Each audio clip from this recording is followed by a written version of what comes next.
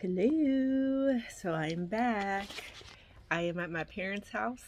I actually meant to record while I was driving a little bit, but I was busy listening to a sermon during my journey, so I forgot. and yeah, so here I am. Uh, feels so good to be home. Let's see. Today has been like I mean I've just been you know packing to come to my parents' house, so that's pretty much it. Um, I've decided that you know during this time it's best to be productive and focus on what I want out of life, i.e., my residency program.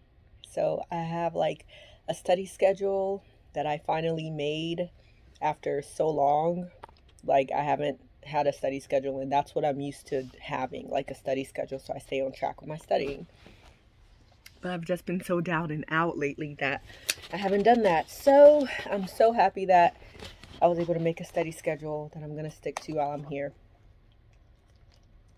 And I actually have to um, get to it. So this video can't be too long. Because when I came home, well, first this morning I woke up and I actually did some studying. And then, you know, I like took a little nap and, you know, like ate, well, kind of like ate while I was driving, but then like I packed up things and stuff and got things ready and then came here and um then I took a nap again. Then I've just kind of been watching some like empowerment videos and yeah. Um I've also prayed of course this morning. I have to pray again. In fact there's some prayer points that I haven't mentioned in a while that I need to mention tonight. So I'm gonna pray when I get off this video and then I will do studying. So that's my plan for the rest of the day. I have to take care of myself. I realized that I'm not drinking water like I should or eating my fruits like I should. So I need to start doing that. I used to like make it like like an actual like ordeal. Like I'd like time how much water I should drink like before noon, how much water I should drink before 5 p.m., stuff like that, and make sure that I'm on track. But I haven't been doing that. I've just been so down in the dumps lately.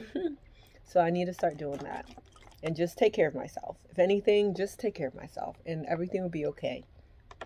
You know, I have to live in joy. That's something that I learned from my sermon today.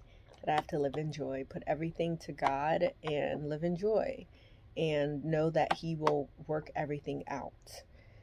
And it's like what's the use of like like do I want to fight my battles by myself by me worrying or do I want to put my worries onto Jesus? Let God worry about it. Let him figure it out. Let him fight my battles for me. It's a lot easier to live life that way. So sometimes you have to say it over and over and over again in order for you to continue to remember it and act it out and actually live your life that way. So I have to just continue to get on this video, just continue to say it. Like, just put your worries onto Jesus. He'll work it all out for you. And during this time, I shouldn't be worrying about anything. Like, all it does is just detriment my health and everything. So, and I don't want that to happen. Like, what's what would be the point of that? Things will still be the way it's going to be. So, why add bad health? you know might as well have good health through it all you know? And who knows? Who knows how who knows what the future holds? You know only god knows. So you know i should just trust him and know that everything's going to be okay. Let's see last night i think i got so last night i actually did not take my sleeping medication because i was just so sleepy because i was studying. I was doing some questions and I got so sleepy and I was just like, I can just fall asleep right now. So I didn't drink my sleepy time tea because well i didn't have to do that because i was already sleepy. The point of that is for me to get sleepy. It doesn't like keep me asleep. So i didn't drink that but then i was like i could take my medicine but i was like no because like i'm so tired. Like i didn't even feel like drinking water and then reaching over to put the medicine in my mouth swallowing. I didn't feel like all any of that because i was just so tired. I didn't even put on my raindrops music that i like to put on in the background. Like i just went to sleep. But then I woke up like two hours later, like two, two and a half hours later. Then I was like, great. Hmm, this is where I was at how many months ago before I started taking sleeping medication?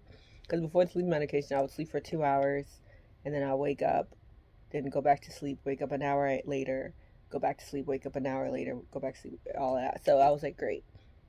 So what did I do? Then I, I think then I like I started uh, watching this like prayer thing and I was praying along. And then I think I did that for like an hour. And then I put on my night, my raindrops, and then went to sleep. So, oh, and my sister got me like eye covers for sleeping, you know, that like bougie people wear. and I actually really liked it. So I actually put it on last night, and it actually helped. I think because I put I put on my raindrops and then just put on my eye cover and went to sleep. And I feel like I went to sleep for like I want to say for three hours. I want to say that, but I'm not. I'm not exactly sure because I need to like be writing down the times that I'm waking up and going back to sleep or whatever. I should probably do that, but then like I don't know, like it's in the middle of the night, and all all I'm trying to do is just try to go back to sleep. So anybody got time to be waking up, or uh, ain't nobody got time to be writing things down. Because then, what if that makes me more awake? I don't know. So, but yeah, I think that's what happened. And what woke me up actually was my alarm for my 5:30 prayer session. Like, there's like this like on uh, a telephone prayer line that starts at 5:30 so when I woke up because of that, I was like, I'm still tired, which is actually a good thing because, like, it woke me up. Usually I'm up like before five, like maybe 3 a.m. or 4 a.m., and I'm like, I can't go back to sleep. So I just kind of stay up until the alarm tells me that it's time to join the line. But this time the alarm actually woke me up, and I was like, I can't join. I was like, I'm tired, but actually, I joined the line and I, um, you know, was just thanking the Lord, thanking the Lord. But then I ended up falling asleep during the line. So, and then I woke up at 6:15.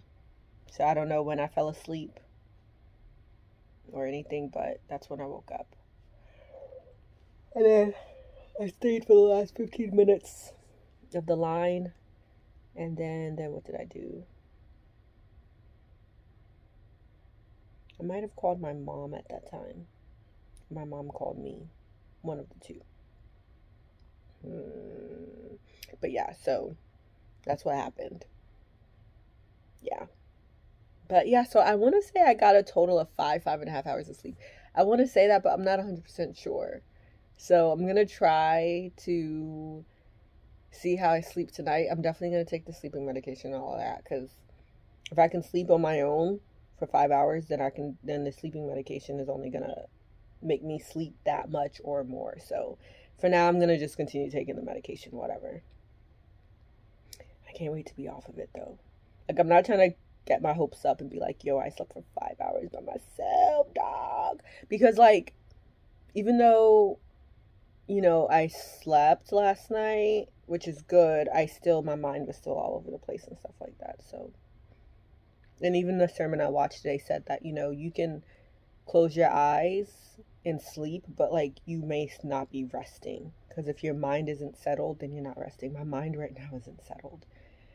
Kind of scary. And that can affect my health. So I'm really like purposely trying to do things that will help me health wise.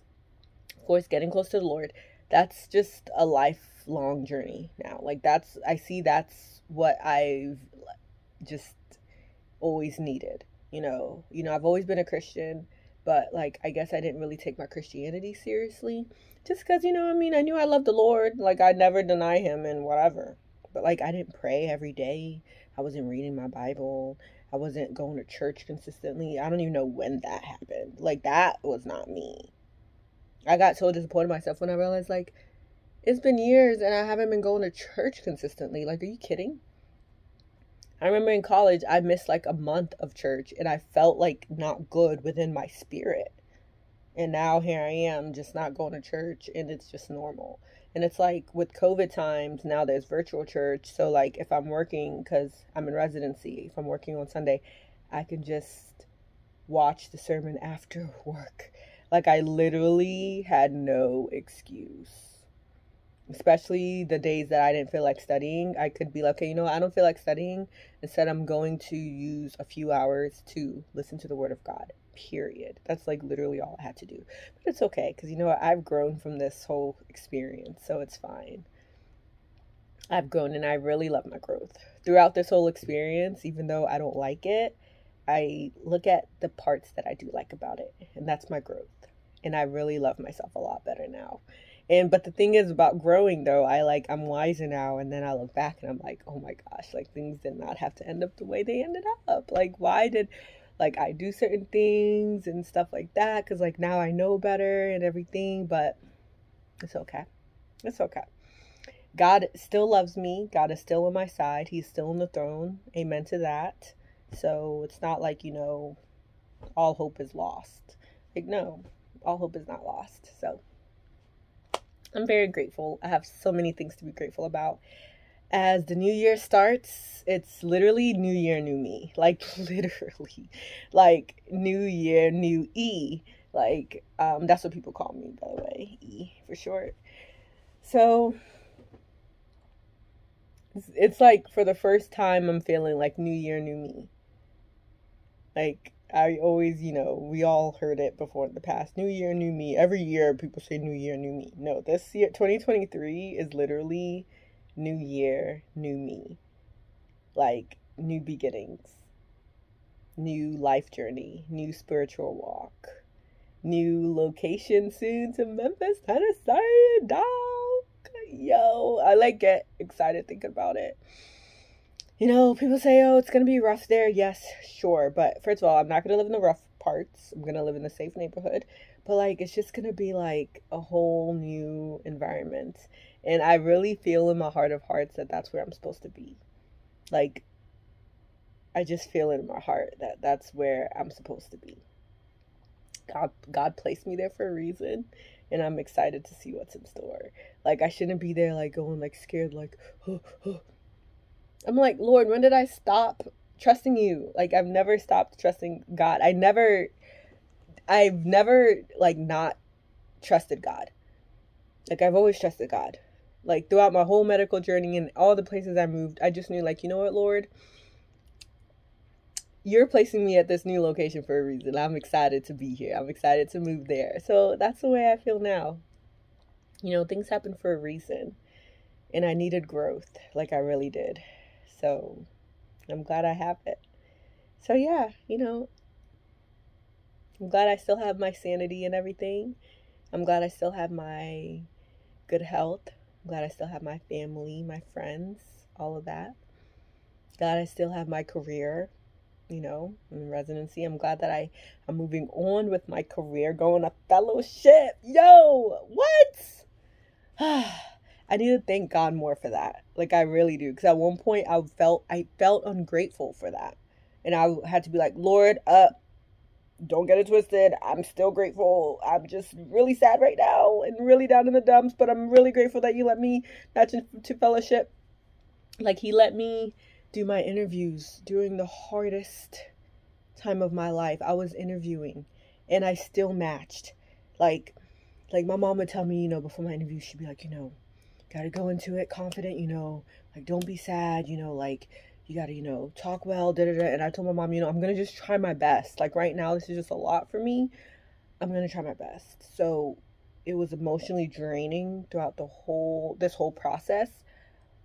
But I went into my interviews, I prayed, and I did it, and someone liked me and ranked me, and I matched. Oh my goodness. Uh, like that's how I know God is still on my side no matter how much I think I've done in the past, how terrible of a person I think I am, how many like mistakes I've made and everything, like I know God still has a plan for me. And I know that I'm way too small to ruin my own destiny. So it's all good, you know? Things, you know, may not work out the way we think they're going to work out, but they work out the way God wants them to work out, you know? All things work together for all to get all things work together for good for to those who love the Lord. So Romans 8 28, something like that. So, you know, I love Jesus. I do, I do, I do. so good times to come. I'm excited to have my joy back. You know, slowly but surely, you know.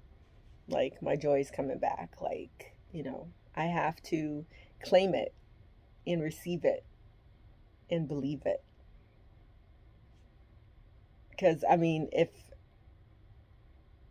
I'm not walking in joy, then what? I'm walking in sorrow. Sorrow, grief, regret, sadness, that literally does nothing for anyone.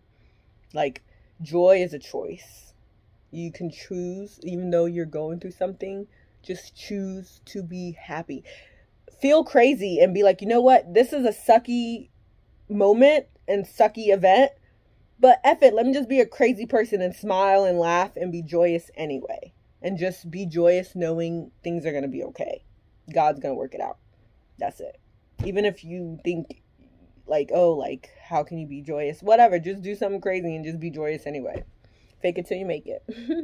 so, yeah, just always live in joy. Try to live in joy. So, that's all I really had to say. I guess I will check you guys later. Plus, my video timer is about to be run out, so might as well end it here. Peace.